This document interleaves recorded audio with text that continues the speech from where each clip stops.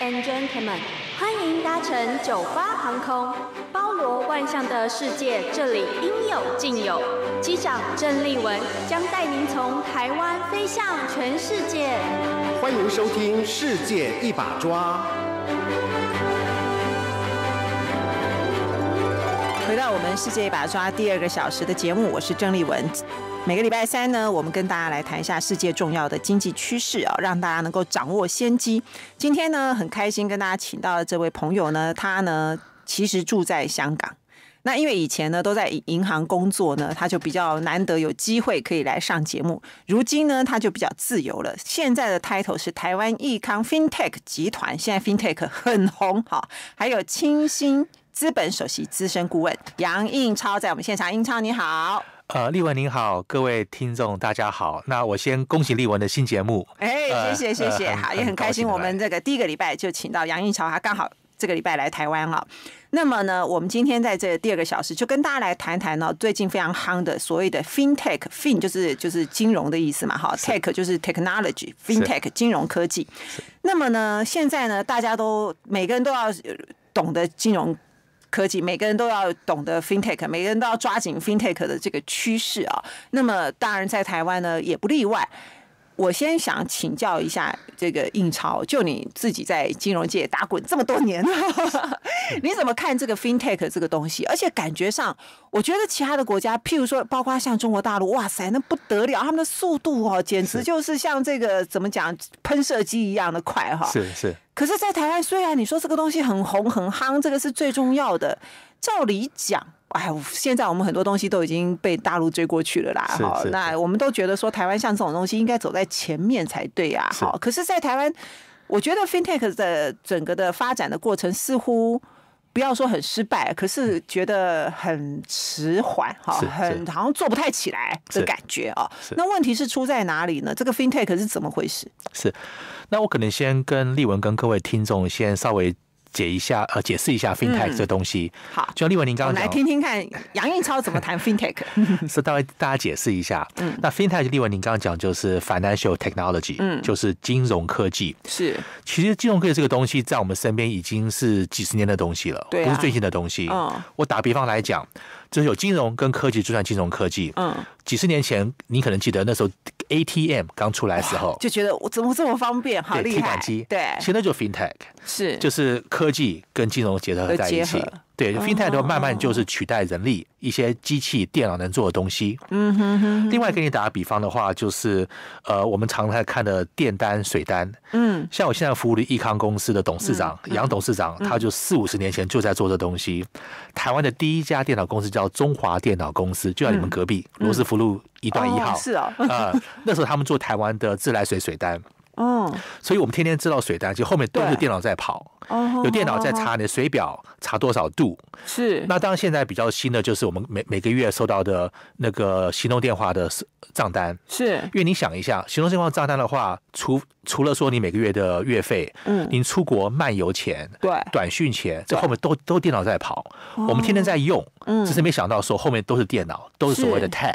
嗯哼。那您去机场，机场的话就出来行李在哪里？呃，第几个那个表出来，转盘出来，或者你在哪一个登机口上机？对，就之前我服务的公司叫 EDS，嗯，台湾叫中国家通，就做这种电脑东西，就跟中华电脑公司一样，嗯，所以做所谓的 FinTech 的东西在我们周围已经很久了，我们都在用，嗯，只是没有特别感觉出来，嗯哼，原因是为什么呢？原因就是说之前没有所谓的小型电脑，也都大型电脑，嗯哼，后来变小型电脑，那现在变成 smartphone 智能手机，对对，就因为所以现在已经变成是个人都可以使用，以前。前就是可能大公司啊或干嘛的设置的，我们去使用它。现在是我们每个人都有随行的 iPad 啊，那个这个那个手机啊，行动那 notebook 啊。对，所以才说之前在背后的一些科技看不到，现在就您讲的很好，现在我们都看到，都在我们身上了。对，所以才会有所谓的 FinTech 出来，就是像个人化了。是，因为其实两千年互联网出来那个也是很大个机会，只那个时候互联网是桌上型电脑。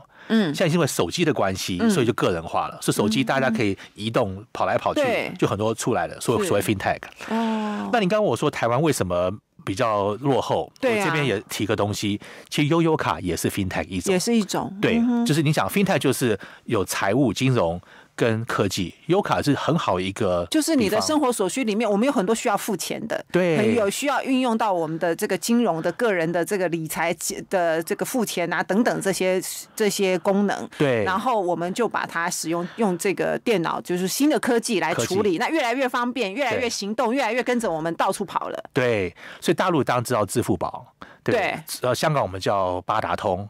对，台湾就是悠游卡最早的。是，其实我这边真的想帮连胜文说一些话。连胜文他怎么了？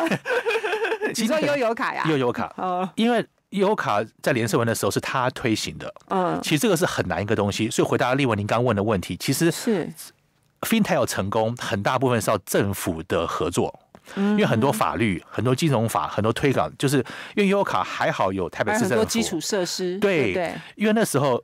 那个盛文也跟我提过，那时候其实他推也很辛苦，嗯，还有他立法院有些好朋友，像赖世宝之类，就好朋友帮他很多忙立法。所以，即便市政府是自己自己动哎，没有啦，就是这市政府也是自己人，国会多数也是自己人，还是推的很辛苦啊。对，因为换个东西，大家有的个个人利益，你优卡出来的话，可能把别人利益就伤害到了，就既得的利益，既得旧有的这个建制，对，你就变成优卡很方便的时候。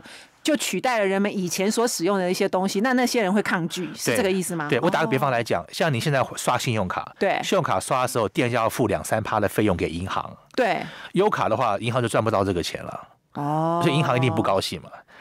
打个比方啦，重点就在这，是没有错。所以我才想帮盛文说一些话，就是说，因为是他有这个背景，有些政治的帮忙，才把这法律通过。所以我觉得，现在大家天天在用户卡，真的要记得是谁做出来的，要 饮水思源。我讲，有我等一下，等一下做捷运就会用到。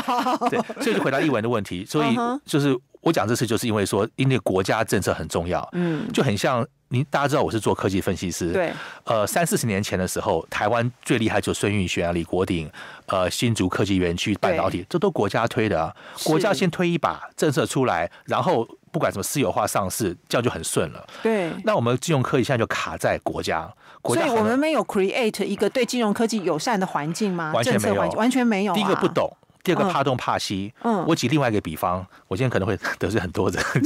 哎呀，我们最喜欢这样的观，最最喜欢这样的来宾，尽量讲。还好住香港，所以还好。这这 Uber 就是另外一个 example，其实 Uber 的 FinTech 的一种，就是你手机上可以。付钱做一些运用。哦，对，当然我跟我讲 FinTech 的话，手机转账也可以，股票也可以，Uber 也是啊，就是手机很大家方便的东西，是是，就是问题看台湾的 Uber 也是一团糟，不管是法律，我我不说谁对谁错，只是说就一团糟，嗯，所以很多东西的话，我觉得我个人觉得，就政府很多事情就怕，我常听到一句话说。多做多错，少做少错。对，其实现在普遍公务员的心态就是这样。何必要被骂？何必要何必要创新？对啊，对不对？所以等退休。而且公务员是铁饭碗呐，他不要犯错，他就可以等退休。他如果多做了以后多错，还被什么弹劾、被纠正、被怎样，他给衰，或者是被骂的时候，长官不高兴，就说你干嘛呀？鸡婆叫我做这个，对不对？真的这样子，所以我蛮可惜的。就是因为我觉得金融科技，当然也是为什么我现在加入易康做顾问，就这个让我想到说十几年前。互联网刚出来的时候，因为刚出来就有机会，机会的话你把握住，可能就可以有一席之地。如果错过的话，很很简单的比喻嘛，就像我们电脑，嗯。微软，嗯。软体，现在错过了，是电脑都是软体，都是微软的，都是微软。对啊，对，Intel 也是啊，去就我们错过的话，人家就一家独大。对，那手机现在也是啊，就是 Apple iOS 跟 Android 就两家，是。两家独大。嗯，所以现在 FinTech 还没有整个。Ecosystem 整个生生物链做好之前，我们如果加点油，还有机会一席之地。等全部都确定了，什么 standard 啊标准都出来了，我们就来不及了。所以其实台湾是有机会的，是有机会，只是机会是越来越小。哦，那归咎于就是说，第一个官僚的保守，对，那政府缺乏远见，没有远见也没有魄力，因为你有远见还有魄力啊，你就算你看到一个很好的东西，你你不敢做也是白搭，对不对？是。然后第。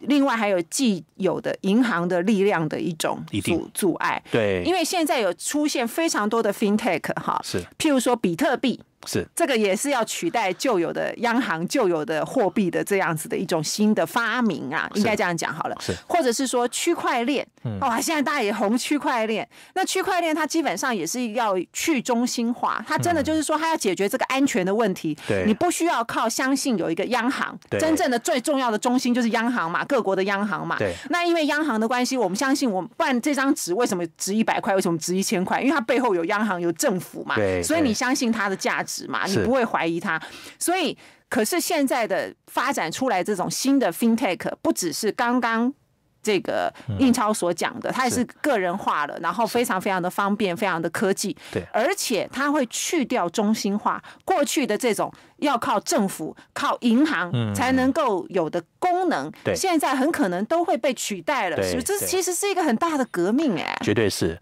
就是说革命大家会怕。那你要说怕的话就不敢动。嗯，我再给你打个比方，这有点像之前像柯达，跟记得照相机柯达？对，那个时候从胶卷转到数位化，他们也怕，他们就守成。还有你想想看。大家我不知道现在小朋友知不知道，以前我们拍照要有，就是你说的要底片，要有胶卷，对不对？你要先去买底片，对，然后装在相机里面。有时候忘记买底片，就觉得哎呀，怎么这么白痴呢？出来玩还忘了带底片啊！是装了底片，拍完照之后呢，你要回去找照相馆，是，然后用相纸把它洗出来。是，你想想看，这中间做底片的，做以前老的相机的，做这种冲洗相纸的，对，现在都没有了，都被取代，所以这些人就会抗拒，就像你说的，会抗拒柯达这种公司，对不对？就柯达现在也也快没，可能都没有了，都看不到了。以前多大的公司啊？对，对不对？不会有人不认识柯达。可是现在小朋友，你可能大家不知道什么柯达，真的，对不对？IBM 也是啊，我之前服务了 IBM，他大型电脑很成功，对，他就怕转小型电脑，就错过机会了。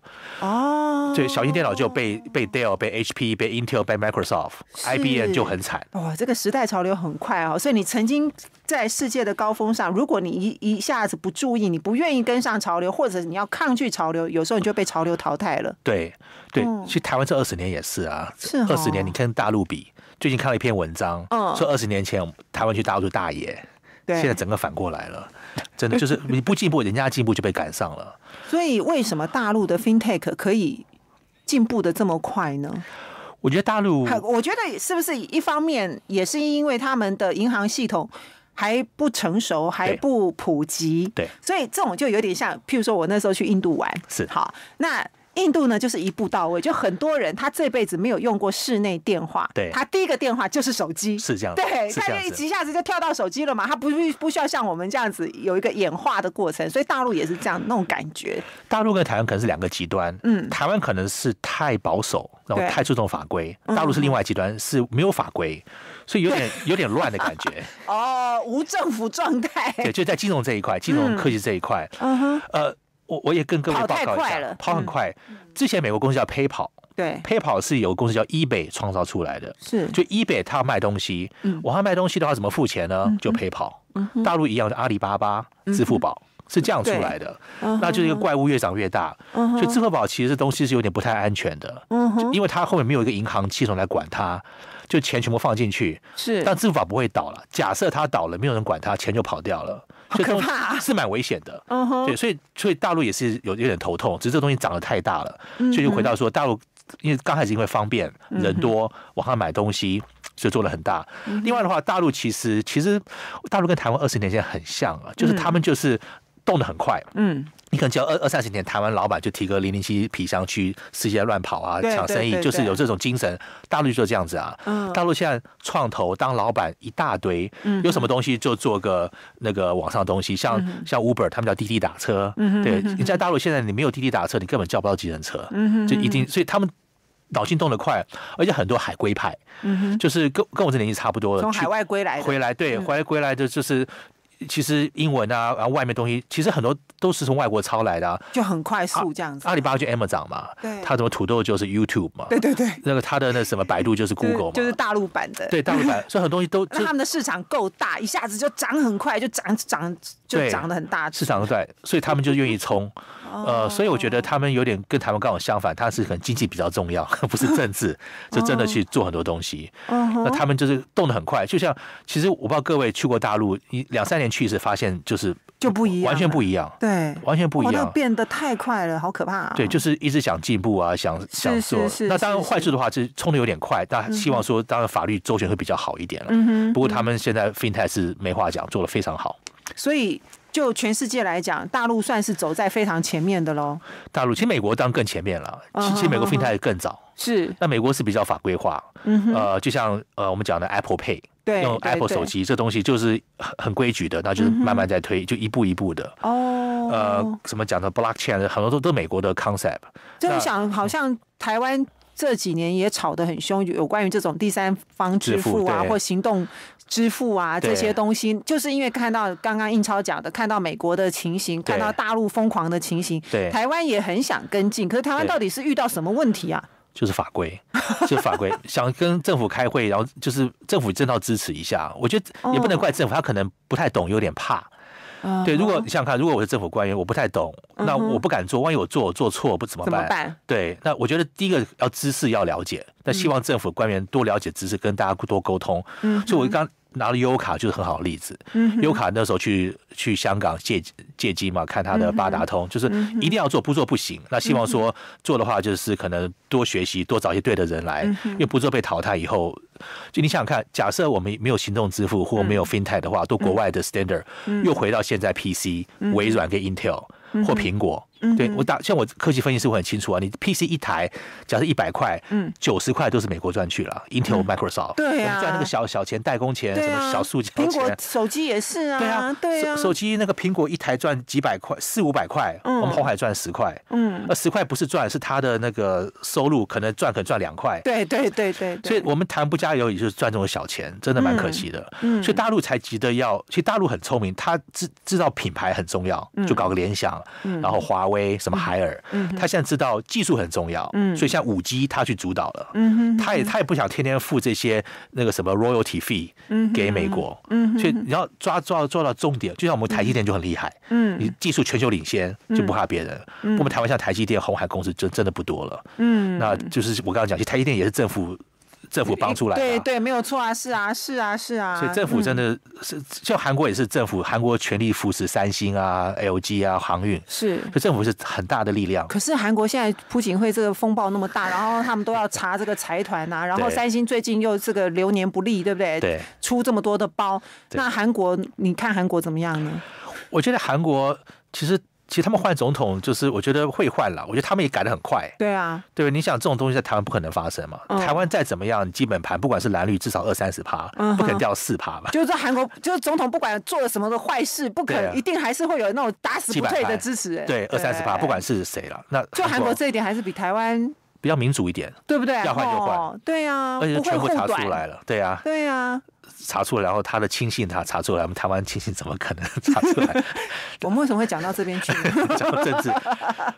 不过，因为我之前查，我现在就是多关怀政治，就是我，因为我以前常被一个很好的朋友骂。哦。他骂我就是说，你光懂经济是没有用的，光懂财务，因为经济财务要跟政治一起看。嗯。因为两个是结在一起的。是。不管什么政策啊，像我们可以谈到川普利率啊，两个一起看才看得准。嗯。所以我现在当我。政治是我外行了，我想就多多了解，这样对一些政策有改还是有有帮助。发现很多的经济真的不是市场决定的，对，是政治决定的。很多，对，心态就是啊，就很可惜，就是对啊，政府不开，基本上还是因为政府的保守，所以这是政治，因为官僚的这样子的一个保守，固步自封。对。我觉得其实以前台湾的官僚的素质很高，因为都是很优秀嘛，学历啊各方面都很高。可是因为这个世界变化的太快了，对，进步的太快了，对，你可能每十年、每五年就有很多新的东西，你想不到、想象不到的东西出来了，那你就要一直不断的与时俱进。其实的确是有一点困难，可是如果你不这么做的话，你这个国家的竞争力就会被抛弃了。就锁国，那就锁国。那台湾其实有很多的。我们台湾的企企业企业，台湾的生意人哈，台湾的朋友们。这一点的灵活度其实是很高的，我觉得台湾人的灵活度是很高的，哈，很知道说哦，现在哪里有商机哦，现在社会的世界的趋势是什么？那我们要怎么样能够走在前面？可是很可惜的就是带不动我们的政府，而且就像刚刚印超所讲的，你会发现台湾很多东西都会很政治化，尤其是现在就很担心说哦，这样我是不是图利了谁呢？我是不是图利了这个，图利了那个呢？那你就是要图利老百姓啊，正对的东西你就要尽量让它发展啊，然后你。你怕这个怕那个，最后呢就变成你就变成是绊脚石了，变成是石头了。好，那我们今天呢，请这个杨运超来跟我们谈 FinTech，除了讲到说讲到台湾的这一块哦，那待会休息一下，我们要。继续回来跟大家聊的，就是说现在出现很多的 fintech 的东西。我刚刚讲要去中心化，甚至于想要取代央行。那最近台湾的央行也说，他要来发展区块链。我觉得这个很好笑，为什么呢？因为你要知道，区块链就是要取代央行的。那央行说他要来发展区块链是什么意思呢？意思就是说我我先把你控制住，我让你不要来取代我嘛。未来是不是这个世界的整个的金融，其实跟我们过去的经验会完全的不一样？马上回来。在我们现场呢，今天的这个经济趋势里头，我们跟大家请到的是台湾益康 FinTech 集团及清晰资本首席资深顾问的杨应超哦。那么待会呢，我当然一定要问大问那个应超一下，就是说这个川普当选之后，美国的股市的反应呢，为什么变得好像是一件好事啊？对待会听一下应超的意见。而且你刚刚有提到这个红海，印超也是你算是。对，除了郭台铭之外，不要这样讲啊！最最了最了解红海的人吧？不 敢不敢。所以以后我们可以在节目里面多问他。好，先问你啊，就是我刚刚说的啊，为什么央行，包括台湾的央行，最近也在讲，好，就说哦，他也要来研究区块链，他也要来发展区块链呐，好，然后很多的央行都说他们要来呃发展类似像比特币这种数字的货币，当然也有很多的国家就也在在讲所谓的无纸化哈这样子的东西。你怎么看这个这样的一个趋势？我觉得这个区块链这东西，央行研究是好事情，嗯，至少他要了解什么东西是。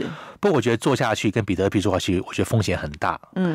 呃，我我现在打个比方，我觉得现在我们在那个易康有研究个东西，就是所谓的密码，嗯，印证，嗯。现在有两种印证方法，一种是软体印证，嗯，一种硬体印证，嗯。我稍微解释一下，好。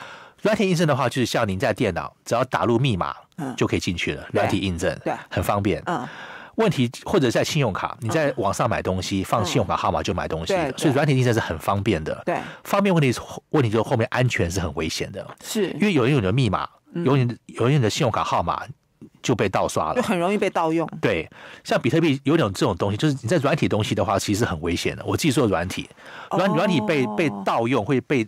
被就是人家，因为人家不知道你是谁，谁有密码就是你。对对对，所以这是蛮危险的事情，不是说不好，就是其实很危险。是。那硬体印证的话是比较好，不比较麻烦。嗯。像可能各位注意到，现在信用卡上面都有一个小晶片。对。因为就是为了硬体印证。哦。所以的话，就是之前的话，信用卡你一刷，它出去是把你卡号出去。对。卡号出去的话，大家呃。一一一侧录的话就不见了，对，而且卡号没没有什么保密性，是。你那个晶片就硬体印证了，晶片超会非要这个晶片不可，对，晶片它会创它会创造出一个密码，一次性密码，哦，就你刷的话，因为你的晶片它的密码就晶片做了出来，就一次性，就一次性的，所以你就算到被你抓到了也没有用，他下次又换了，对，就叫做所有号码被人家拿到，他是没办法用，没有用了，对，当然他除非在网上买东西还是可以，对，只要那机器。那个 POS 机器的话，对你没有那个没有那晶片，所以现在很多，所以现在信用卡公司就强迫呃商家一定要换那个新的机器，用插进去的，用密用晶片。信用公公司也说，如果你不换机器的话，以后盗刷是你负责，因为现在是信用卡公司负责。因为现在这种争议太多了，对，嗯，所以才会一体凭证安全，不会比较麻烦。所以你刚刚讲到什么区块链啊，或者比特币，不是说不好，只是有点风险，所以可能要要更。完全，嗯，那另外的话就币值，像币值或钱，这个是几千年发展的东西。对，像美国之前他发的美金，后面都有黄金来支持它。是啊，你不能本位。对啊，你不能乱印东西嘛。对对对，比特币东西可以乱印啊，印到最后你不知道。在美钞也乱印呢？没有，美钞也是乱印，没有错。美钞乱印，只是它后面还是有个美国经济体。对，就像我们台币后面有个台有台币台湾经济体有有嗯有你比特币会没有东西啊？嗯，他哪一天万一不见了或怎么样子，你去找谁呢？嗯银行倒你还找到人，这个倒了，当然机会很小了。只是说这种，我是讲到安全的问题。现在很多东西的话都方便，嗯，只是不安全。那就是说方便跟安全取个平衡点，可能所以所以回到李文您问的问题，就是说央行了解区块链绝对是好事情，绝对是。那当了解，就像我刚刚讲的 FinTech 一样，你要了解才知道说做或不做，或怎么样做一些什么法律措施是好事情。不过我觉得区块链这东西可能要一段时间才真的看到应用啊。对，现在还在还在还在摸索中。对对对，研发中。所以 FinTech 现在看得到，可以马上赚钱，应该马上做。那区块链可以再研究一段时间。是是，好，那我们还是很好奇，就是说，川普当选之后呢，他不是一个神经病吗？不是一个大灾难吗？大家都这样讲啊。是。可是，哎。美国的股市反映起来不是这样子啊？是怎么了？那个 你怎么看川普当选？就从这个经济金融面来看，是因为我从小在美国长大了，其实我是共和党员啊，所以 所以我问错人，你本来就会支持他，是这样吗？是我稍微解释一下，我觉得你有去投票吗？呃，有啊，真的 都不敢讲，以前都不太敢讲，会被骂。所以你有投川普哦？呃，这个被骂。好了好了好了，不会啊不会啊。我我解释一下，因为我在美国住了，我觉得美国文化比较不一样。嗯，就是美国几个东西，我觉得台湾可以就是参考一下。嗯，第一个，我觉得川普很好例子。嗯，他选举前两个骂的一塌糊涂。对啊。哎，选完之后就和解了。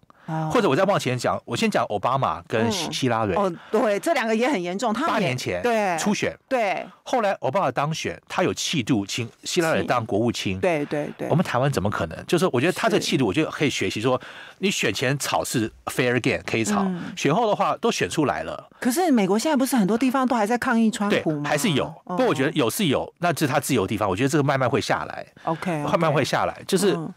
但不高兴也有了。不过像川普，他也知道。我打几个比方，川普之前说当选之后非法移民全部抓起来，对，现在没有了，现在只抓犯法的非法移民。那那些支持川普的人会不会觉得我被骗了？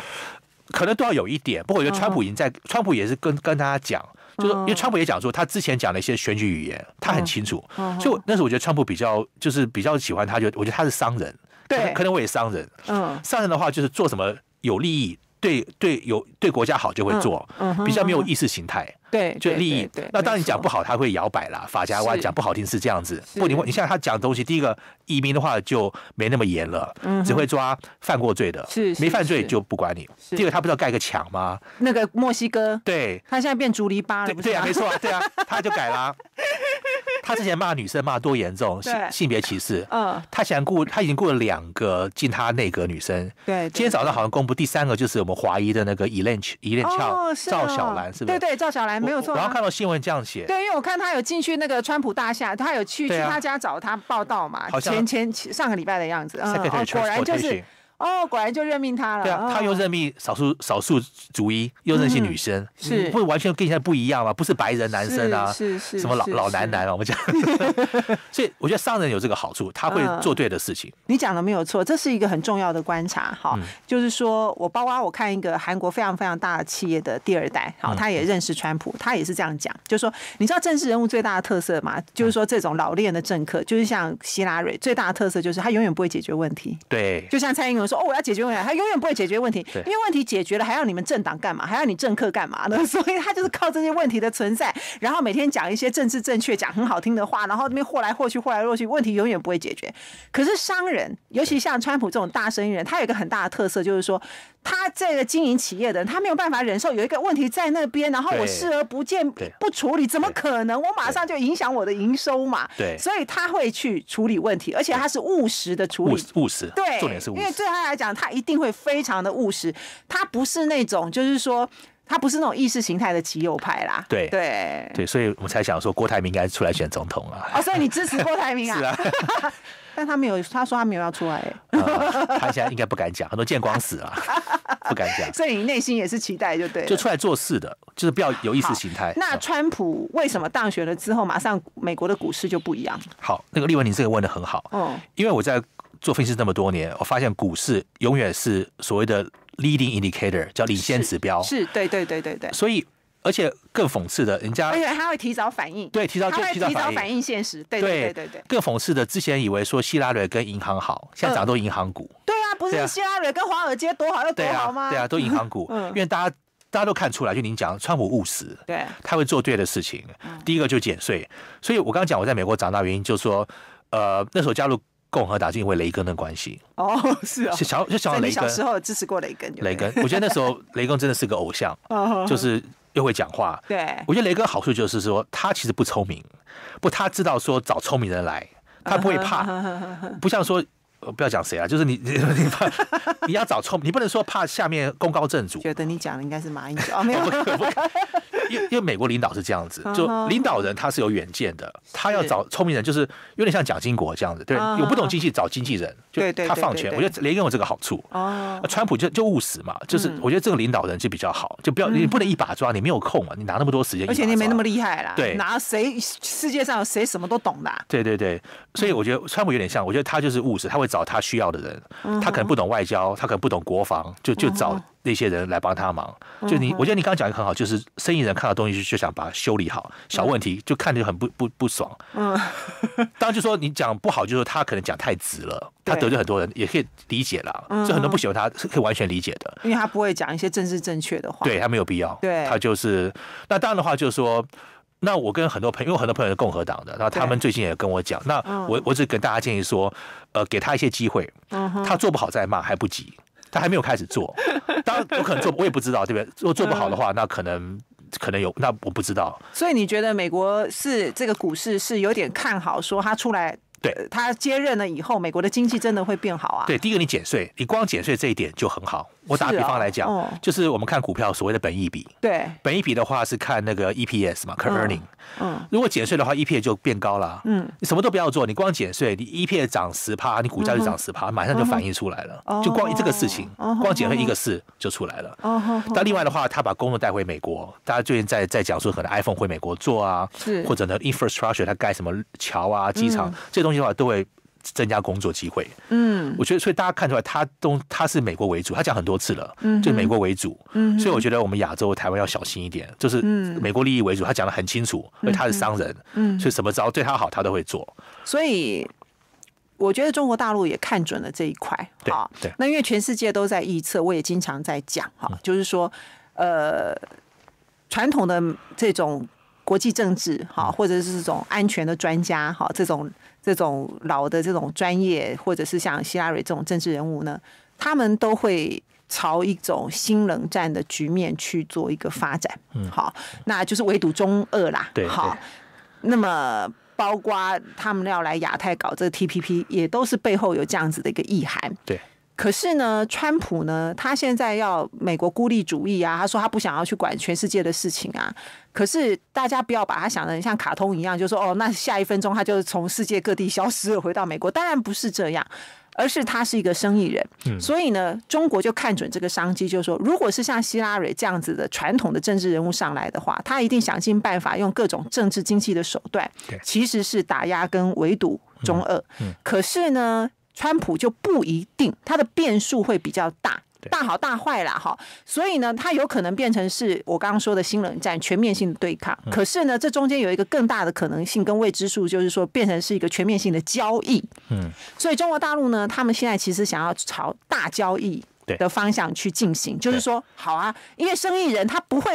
有利益说，我视而不见，然后我要搞我的意识形态嘛？他不会，所以他一定是投其所好。对，那你想要的利益是什么？对，那生意人就是这样，只要我有机会可以做生意，他就会他那个鼻子很灵啦，对不对？他就会往那个方向去走。所以现在中国大陆就是投其所好，就是说，那我们是不是可以来全面性的做一个大交易？什么事情都可以做生意啊，都可以交换啊，都可以交易啊。对，那如果是一个全面性的大交易可以成的话，哦，那真的很不一样。我们休息一下再回来。在我们现场的是台湾益康 FinTech 集团的啊杨英超，在跟我们谈这个金融的趋势、经济的趋势。我们刚刚讲到说这个 FinTech 的发展呢，以后有机会，因为这个是一个很大的题目啦，是一次讲不完的哈。但我觉得可能让大家更好奇的是川普的当选哈。是。那么当全世界的主流媒体如上考比哦，然后呢？对于未来如此的惊慌失措，然后做出各种可能的猜测预言哦。你看那个《纽约时报》，基本上说。就就是因为川普就是尝尝试重新跟这个媒体修好嘛，哈，纽约时报还说包扣零的代机啦，就是不可能啦，你不要以为我们会被你摸头啦，就他还是很情绪化，你知道吗？是。然后我们在台湾看到就觉得说，美国人很多人还是很难接受川普的当选，包括现在要验票，对，等等的。可是你在美国感觉的氛围不不不带是这样子哦。是，我觉得当然这次的分裂是比较多一点，那那那是一定的。像我很多朋友住加州的就不太喜欢川普。对呀，加州就很严重啊。加州不是要独立了吗？是啊，我们在开玩笑，那个墙应该盖在加州，加州旁边那个墙，不要盖墨西哥，盖到加州算了。开玩笑啊。嗯。不过我觉得就是媒体的力量，因为呃，大家在台湾可能不觉得，我们在美国，其实我最近才发现，美国媒体是很偏的，很偏 liberal，尤其 CNN。尤其是 New York Times，所以嘛，我之前就在节目里面讲说，我看 CNN 的时候，我觉得那 CNN 跟台湾的三立是一样的，真的，跟三立在支持民进党是一样的。我那个 CNN 在修理川普，简直是发疯了。是。我看开票那个晚上看 CNN，对，他就说佛里达还有机会，还有机会，他一直还在，而且他一直浮出希拉里领先。我想说，你也实在是太可悲了吧？真的，所以他们媒体用不住台湾，不不懂美美国媒体，嗯，美国媒体真的很偏，因为。你看，对台湾来讲，CNN 呢，简直就是全世界最重要的媒体啊。可是我觉得它早就不是这样子了。对，而且因为你现在网络媒体什么各方面媒体这么的发达，社社群媒体这么的发达，所以他们这些主流媒体也在。就是反省一件事情，就是说这些网络媒体通通都是假的新闻啊！就是因为这些假的新闻，所以才川让川普当选的。因为你们这些人哈，通通都相信假的新闻，不相信我们这些主流媒体，所以希拉里才输的，很没有风度。是没有风度。其实你讲的，我也想稍微提一下，就是很多人开玩笑，因为八年前共和党也不喜欢奥巴马，对，奥巴马赢了，愿赌服输。嗯，就没事啦。那为什么这次人家赢了就出来抗议，就不太公平？两套两套标准嘛，对不对？只只能自己的人赢，别人赢就不行。呃，不过这个就是民主啦，大家可以。很自由的讲，所以你觉得像 New York Times 或者是 CNN 这些，本来就藏起来，他的立场就是很很鲜明的，对，很 liberal 的。呃，应该 C 其实 New York Times 我不知道你有没有看到，他们出来道歉，嗯哼，选完他出来道歉，有啦有啦，他对他们也稍微认错了一点。对，我觉得好事情，我觉得美国是比较好，就是真的会出来道歉。嗯，而且美国意识形态有，不过。比较没那么严重，嗯，因为美国有 Fox，现在我们看 Fox 的话就比较偏 偏另外一边，就有点有点偏。我以前觉得福斯比较像三立，现在觉得 CNN 也是三立，全面三立化都是。台湾其实走在世界的前端，对，而且这个是真的，是不是？这台湾是赢赢美国的。对啊，所以他我觉得他现在台湾说要学美国的什么浪潮，我觉得不是哎，我觉得台湾是领先领先很多的浪潮哎，所以说这个川普是在我们后面的。民粹不对我了解，就是说民粹当然都有。有了，你知道美国你说什么三 K 党啊都有，嗯，其实我觉得美国多数人是比较理智的，嗯，多数人也出来，共和党也出来说，至少给川普一个机会，嗯，对不对？他做坏你再骂还不急嘛？人家都还是为什么选前很多共连共和党的人都跟川普划清界限啊？很多啊，对啊，我觉得就他们，所以我才说美国是比较理智的，嗯，虽然我是共和党，我不一定要投你，我要投好的人，就像您问我对不对？如果那个谁啊，那个 Sanders 出来，呃，就是民主党的 Sanders，对我可能会投他。是哦，对，就可这样左右不是差很多？是，他很左哎，很左，对啊。可是为什么？就是我觉得他蛮理性的，然后他也代代表一些。但是很左没有错啦，不过他就是，我觉得他比希拉里会安全，他知道诚实，对我来讲诚实很重要，对不对？嗯，我那时候在台湾都没有人要相信我讲的话，我就说希拉里是一个糟糕透顶的候选人，对美国人来讲，就是你说的，他就是已经是说谎成性了嘛。对很多美国人来讲，他根本就不可能相信希拉里啦。是啊，你知道一个月前，我我那个我我在美国普渡大学念书，普渡大学校长来台湾，嗯，那我们就接待他，嗯，他之前是两任州长。两任共和党的州长，他是伊利安纳的州长，他接他的人现在是川普的副手，所以他这个是老鸟，正是老鸟，连他都说他不一定要投川普，连他都跟我们这样分析。是，那你刚讲希拉瑞，连他都说共和党任何一个人出来都会赢希拉瑞。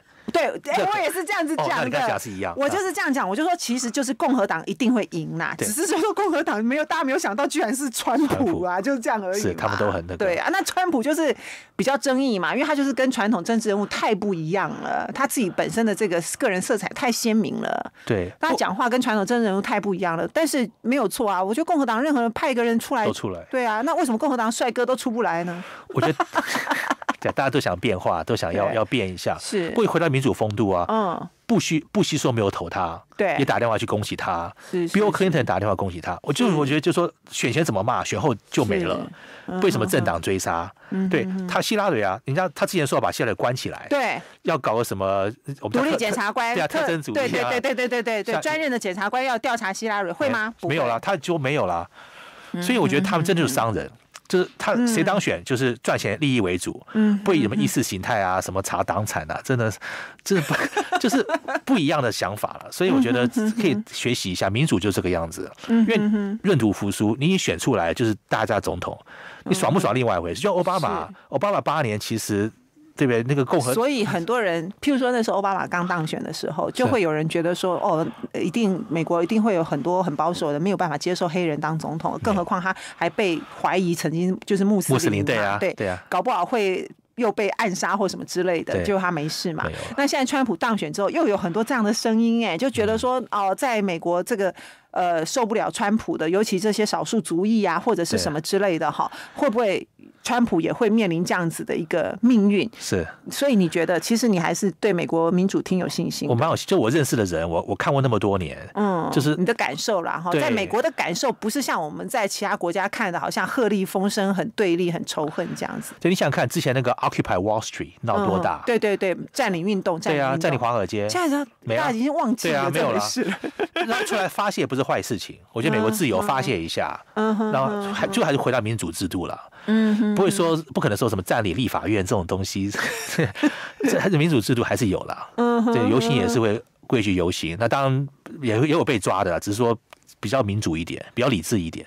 我觉得川普是一个很自恋的人，是一定撇开哈，我觉得他是一个很自恋的人。我跟你讲，自恋这种人，你就会发现说，你有时候讲话投其所好哈，对，他就会他这个会挺 take personal 的。哦，那如果你你你讲话，你捧他，他哦，我觉得他就会很受用。对，好，那如果你瞧不起他或怎么样，他就会很不高兴。我觉得这一点是他的一个人格上的特色。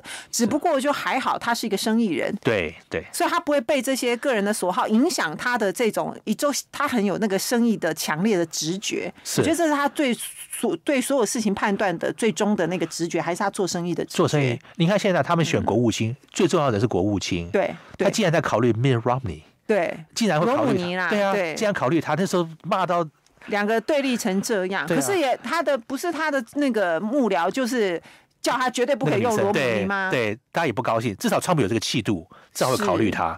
是，有有可能装出来也不一定了，至少有。但至少不会说拒绝往来户啊什么的，永远不要不要想跟我怎样怎样哈。对，嗯，你看小英就不可能用苏贞昌。就像之前，我觉得像宋楚瑜之前就也很有能力啊。嗯，如果十几年前用他，不是很好吗？不，这种这种这种很难讲了。这个哦，马英九跟王金平都搞不定了，还搞到宋楚瑜，也太难了。就是我，所以你会觉得台湾的政治人物就会变成是这样，不像美国这么的。我觉得他们也是成熟，你不觉得吗？对，就像我们在外资，不会这么的孩子气，就是我我跟你一辈子的仇，跟你记得这样。对，我们在美国公司，就是我在外商做的很愉快。好了，我们时间到了啦，所以那个我们以后还是会请英超来我们节目。今天真的是非常感谢你，以后常来哦哈。